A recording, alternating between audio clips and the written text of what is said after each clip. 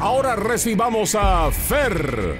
Hola, ¿qué tal? Tengo 24 años y vengo de la ciudad de Phoenix, Arizona. Yo soy casado y tengo una bebé de 9 meses y se llama Meredith. Yo trabajo subiendo videos a YouTube y mi esposa fue la que me metió en esto y mi suegra ni se diga. Ella ya tiene un millón de suscriptores en su canal. Mis suscriptores fueron los que me animaron a venir a este concurso.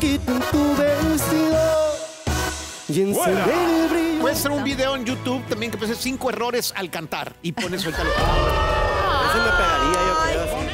Pues le hice caso y sí me sirvió, ya que mucha gente me puso muchos consejos que me han estado sirviendo. Ahora vengo bien preparado y tengo que seguir adelante por mis seguidores.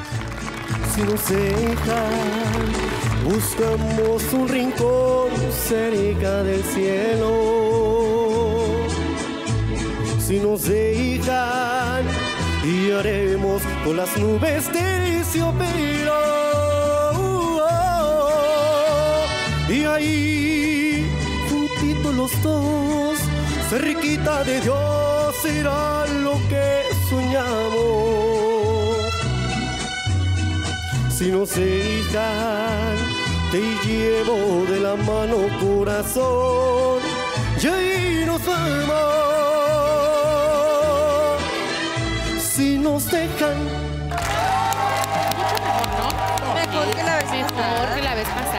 De hecho, yo me atrevo a decir que personalmente eh, mi paz era precisamente para escucharte mínimo como te escuchamos esta noche.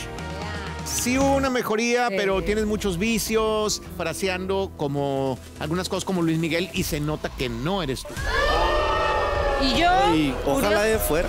curiosamente, sí te veo en el grupo. Yo te veo en el grupo porque tienes, de verdad, ese colorcito de voz que nos gusta en, el- en la música popular mexicana, maestro. Es mi puntito. Siento que la vas a, la vas a sacar del estadio en, la- en- en el dueto viejo. No nos deje abajo. Don Cheto ahorita me estaba preguntando que te preguntara yo a ti, este, si te depilas el pecho.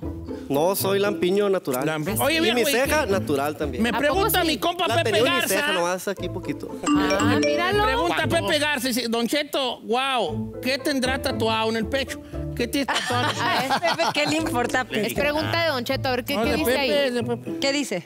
Dice que voy a ser de los cinco de la banda. Bien Ah, nos vemos pues ahorita, Nos Luisón. vemos. Nos vemos, muchas gracias.